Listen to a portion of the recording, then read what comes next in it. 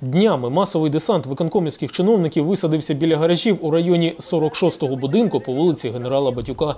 Приводом для візиту стало звернення громади до муніципалітету. Люди вимагають прибирати металеві гаражі від своїх цегляних. Не мешает, они не на месте, незаконно установлены, самовольно это все.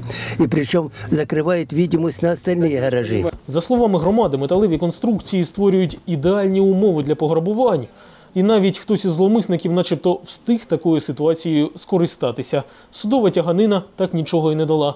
Отже, лишається сподіватися на допомогу з боку управління житлово-комунального господарства. По металлическим гаражам. Э, Очень важно, очень важно, если они э, самострои не зарегистрированы нигде, очень важно установить, кто хозяин этого гаража.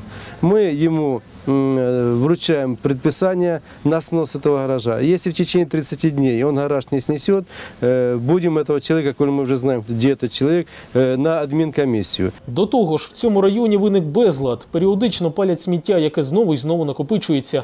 Власники гаражів люди з обмеженими фізичними можливостями. Деякі заявляють про приписаний постільний режим.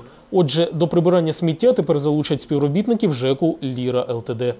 Ну, ЖКХ мы договорились, что они выделят машину, а мы поможем убрать. Там, ну, опять же, убрать и надо же поддерживать. А кто будет поддерживать территорию, которая не относится к ЖЭКу? Наверное, ж надо общими усилиями все это дело делать.